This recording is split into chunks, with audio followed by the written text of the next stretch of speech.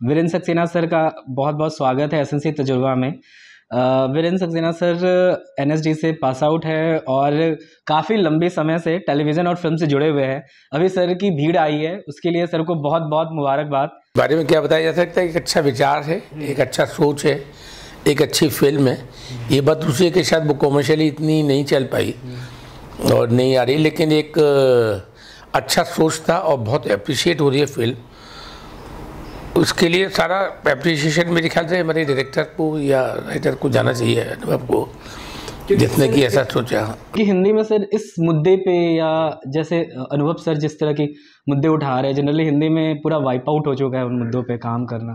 तो उनको लेके अनुभव सर की भी बहुत सारी चुनौतियाँ होंगी कि वो कर रहे हैं। उसी तरीके का वो उसने एक अपनी किस्म का एक अपना सिनेमा तैयार किया है। और वो थोड़ा उसमें विश्वास भी रखता है। पहले उसने जिस तरीके की फ़िल्म कर ली, वो कर ली, लेकिन होता है ना, आप एक पूरे प्रोसेस में चीज़ों को अंडरस्टैंड करते हैं कि आपको क्या करना चाहिए, क्या नहीं करना चाहिए, और किस तरीके का सिनेमा करना चाहिए तो उसकी समझ में आ गई है, और वो वैसा ही कर रहा है।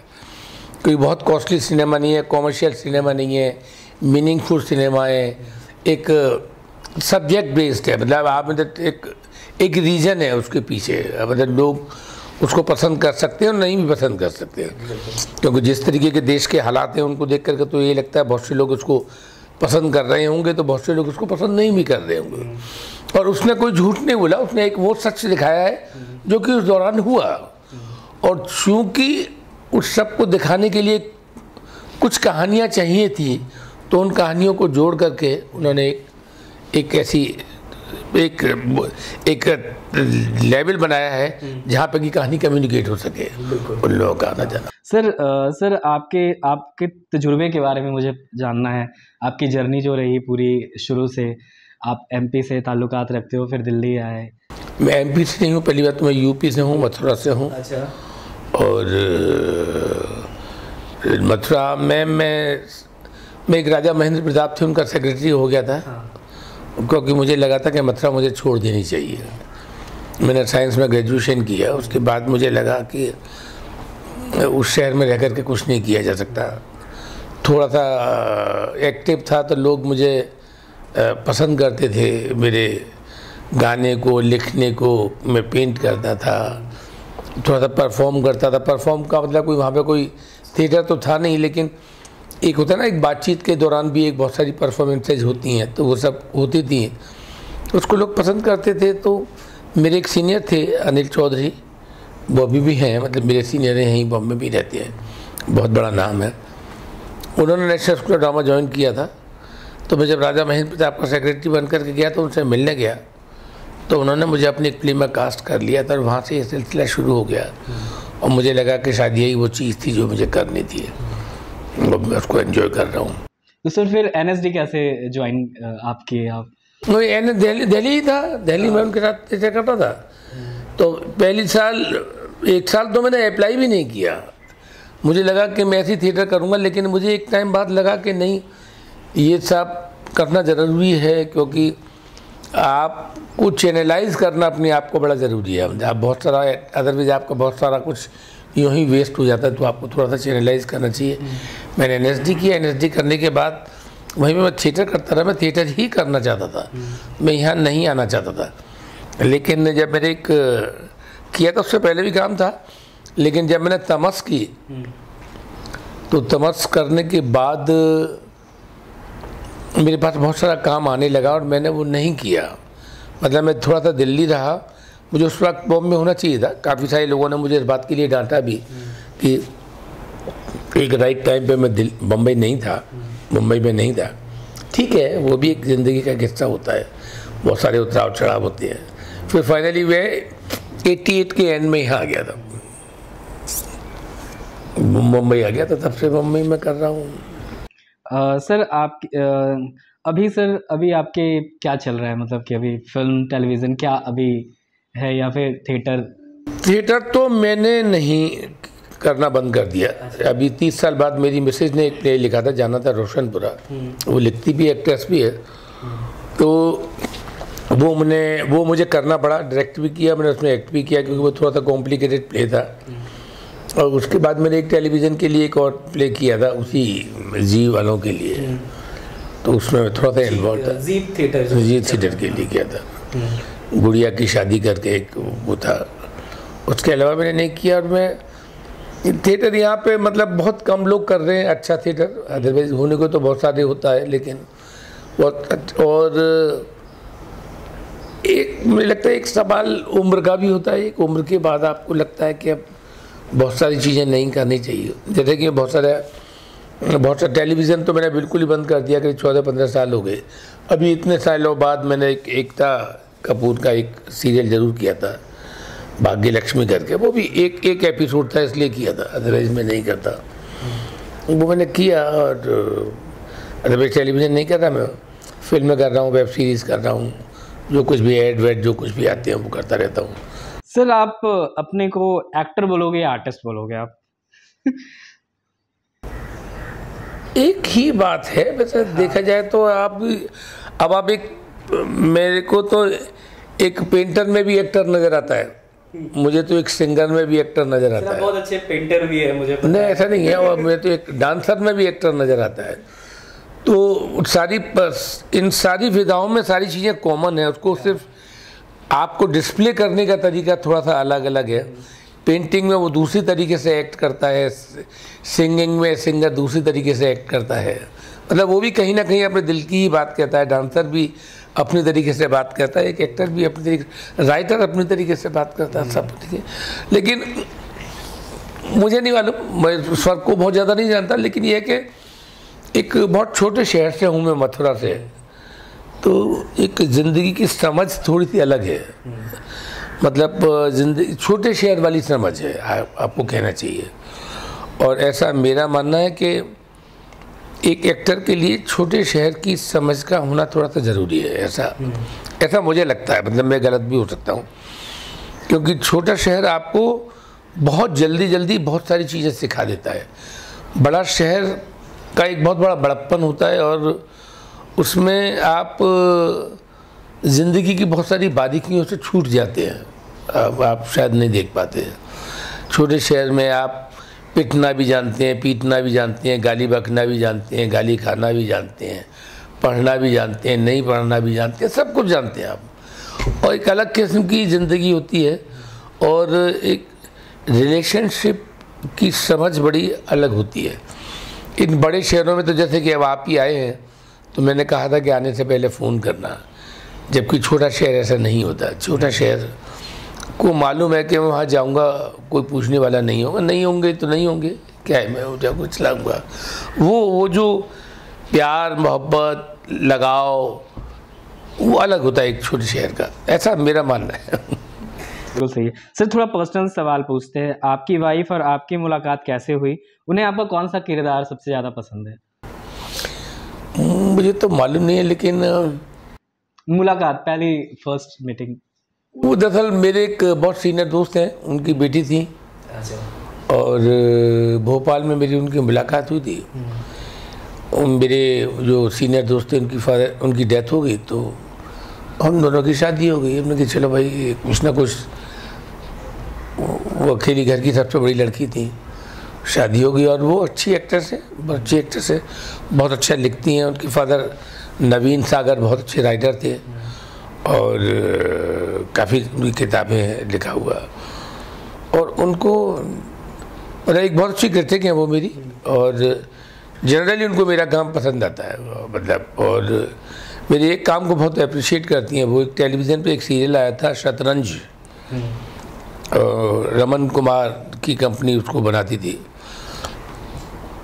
और हमारे एक दोस्त थे दीपक वो उसको डायरेक्ट करते थे वो उनको बहुत पसंद था। बाकी सारे काम तो काम क्या मतलब मैं एक एक्टर हूँ तो मैं भी कोशिश करता हूँ कि अपना जो भी काम करूँ, पूरी ईमानदारी से करूँ, वही एक एक्टर की ज़रूरत होती है कि आप ज़रूरी नहीं है कि आपकी जो फ़िल्म को करें, वो फ़िल्म चले, न चले, ये सारी चीज़ें अलग हो सकती हैं, लेकिन आपको जो ज़िम्मेदारी दी जाए, वो आप अच्छी तरीके से कर पाएँ और ईमानदारी से निभा लें, ये एक एक्टर के लिए बहुत बड़ी बात होती है। ऐसा मेरे का ऐसा मेरा मानना है।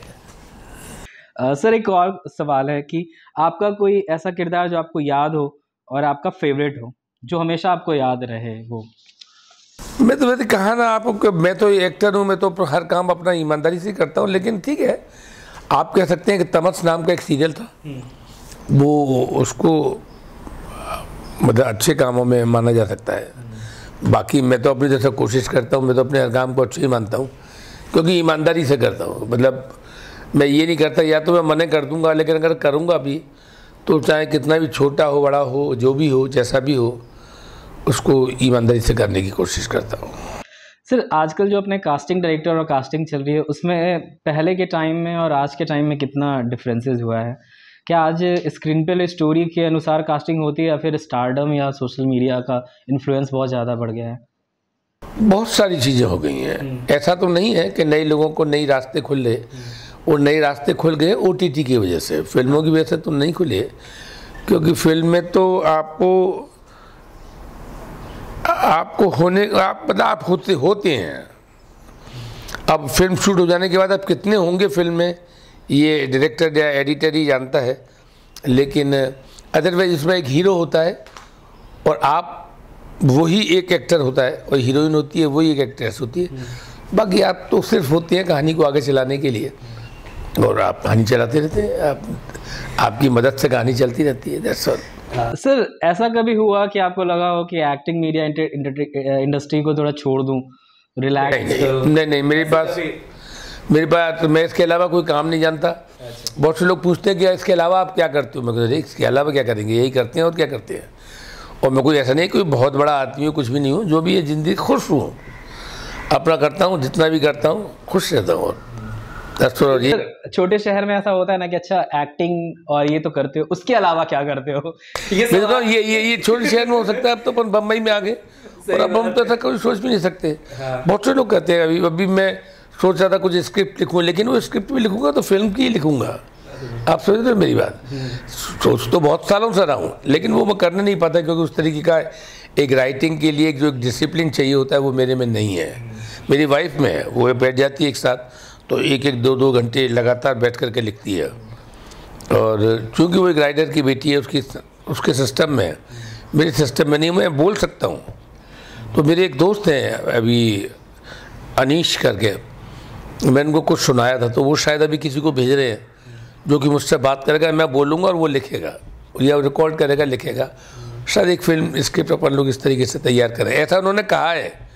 कोई भरोसा नहीं करता। आज बॉम्बे में रह करके आज की तारीख में आप किसी पर भरोसा नहीं कर सकते कि क्या हो रहा है क्या नहीं हो रहा है।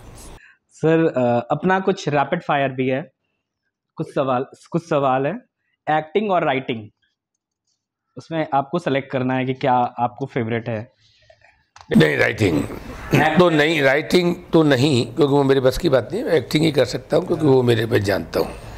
एक्टर और आर्टिस्ट मैं तो दोनों ही सारे ही काम करता हूँ। मैं गाता भी था अब तो खैर गाना बंद हो गया लिखता भी था जो भी अभी लिखना बंद हो गया। पेंट भी करता हूँ कुछ म्यूजिकल इंस्ट्रूमेंट्स भी बजाता हूँ वक्त ज़रूरत पे और एक्ट भी करता हूँ। तो इस तरीके की तो मुझे नहीं मालूम मैं कौन सी कैटेगरी में आता हूँ। हो सकता है शायद मैं आर्टिस्ट वाली कैटेगरी में आता हूँ ऐसा मुझे लगता है। टोटलिटी एकदम प्रोड्यूसर और डायरेक्टर डायरेक्टर थिएटर और डिजिटल मीडिया थिएटर दिल्ली और मुंबई? किस संदर्भ में? काम के संदर्भ में मुंबई और रहने के संदर्भ में दिल्ली। ठीक है वन फेवरेट डायरेक्टर बहुत सारी है बहुत। मुझे ऐसे हर डायरेक्टर पसंद आता है जो कि आप पे ट्रस्ट करता है और आपके साथ एक्सपेरिमेंट करना चाहता है। अदरवाइज़ बहुत सारे डायरेक्टर ऐसे होती हैं जो कि घर से ही अपनी किताब तैयार करके आए होती हैं। तैयार करके लाए होती है और वो आप पे थोप देती हैं कि इसको ऐसा करना है, ऐसा नहीं होता। और एक, क्योंकि एक हम क्रिएटिव फ़ील्ड में इसलिए बड़ा ज़रूरी है कि हम सारे लोग मिलकर के किसी एक चीज़ को बड़ा करें।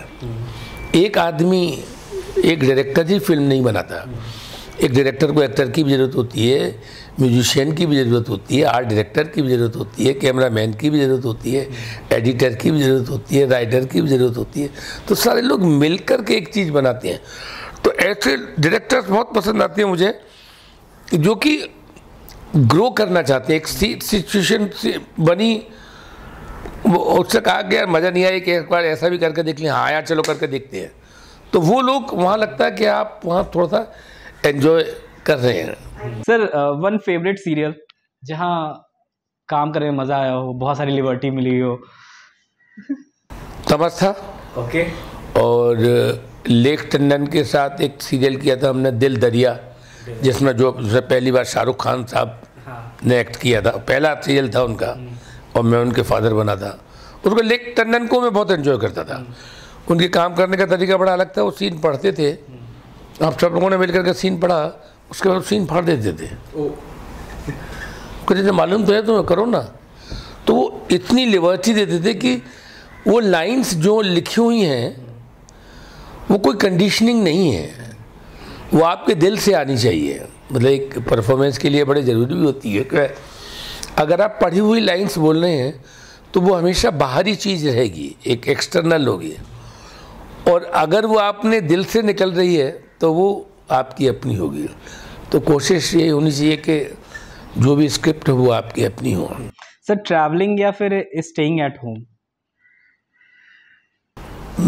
मैं एक टाइम में ट्रैवलिंग बहुत पसंद करता था आजकल स्टेइंग को बहुत एंजॉय करता हूँ।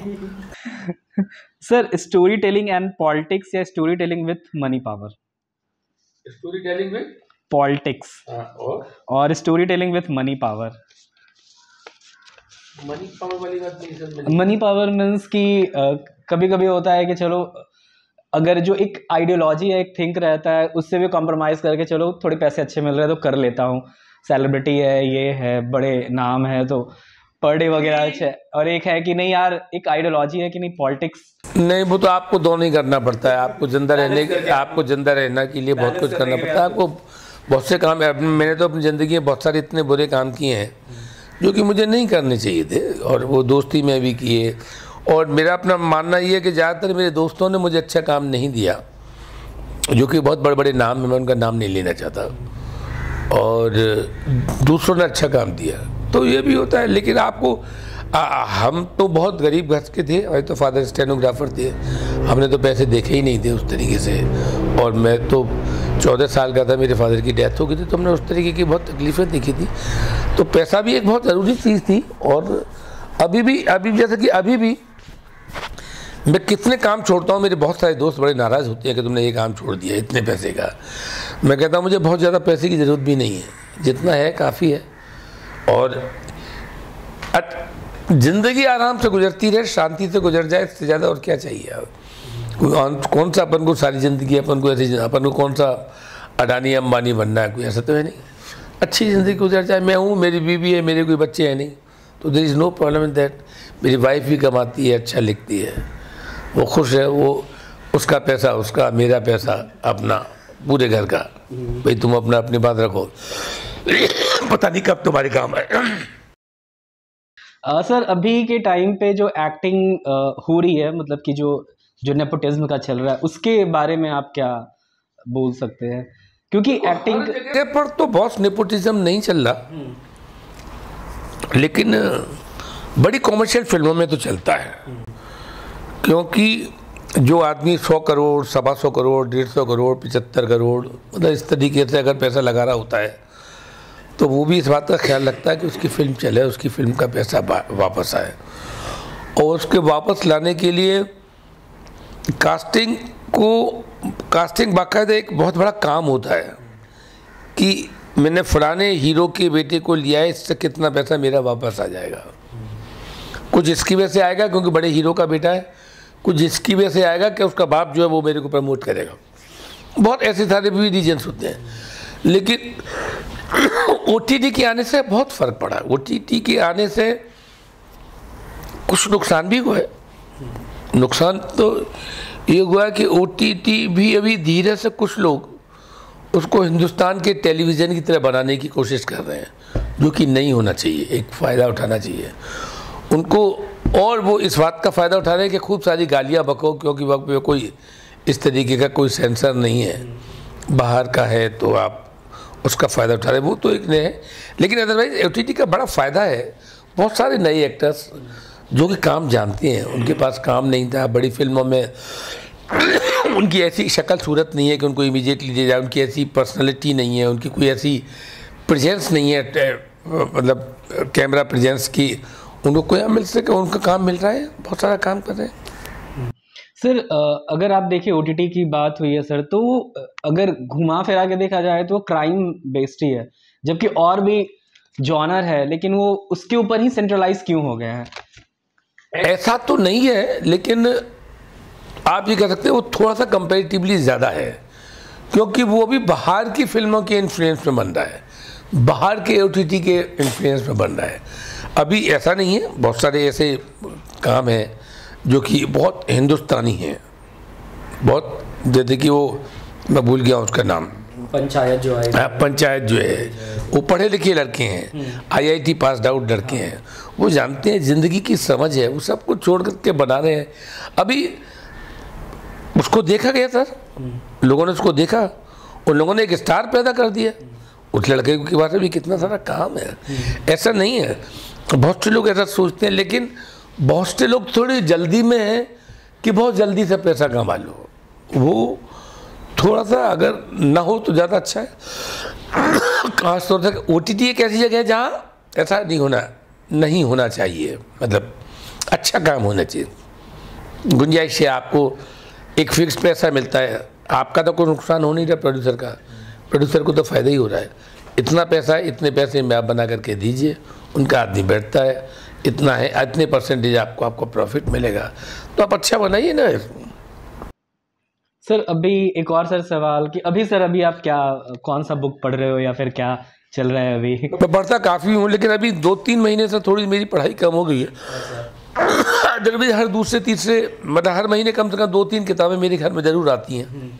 एक बहुत अच्छा कलेक्शन है मेरे पास। मैं पढ़ता हूँ और पढ़ी हुई किताबों को दूसरे लोगों को देता भी हूँ कि तुम भी पढ़ लो।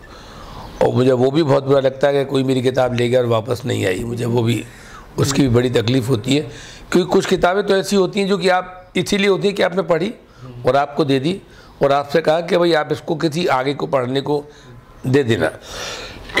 ये रुकनी नहीं चाहिए। कुछ किताबें ऐसी होती हैं जो कि नहीं, ये हमारे पास कलेक्शन में होनी चाहिए।